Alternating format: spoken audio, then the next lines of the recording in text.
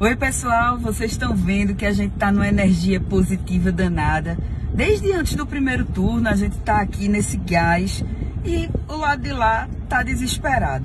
Já começaram a disparar fake news há mais de uma semana, agressões. Ontem a, a cidade amanheceu cheia de cartaz, aqueles lambi-lambi que fazia muitos anos que eu não via. E hoje a propaganda de TV, a gente que tá aqui numa animação, nossa propaganda tá bonita, tá pra cima. A propaganda deles é um negócio horroroso, é coisa de desesperado. Mas não existe isso não, gente. Ontem no debate eu já disse, respeite o Recife, respeite as mulheres, me respeite. E todo mundo sabe, né, gente? Todo mundo sabe que eu não sou comandada, que quem lidera aqui todo esse processo sou eu. Ninguém me bota cabresto, não. E a gente quer falar sobre o Recife. Então bora embora, gente.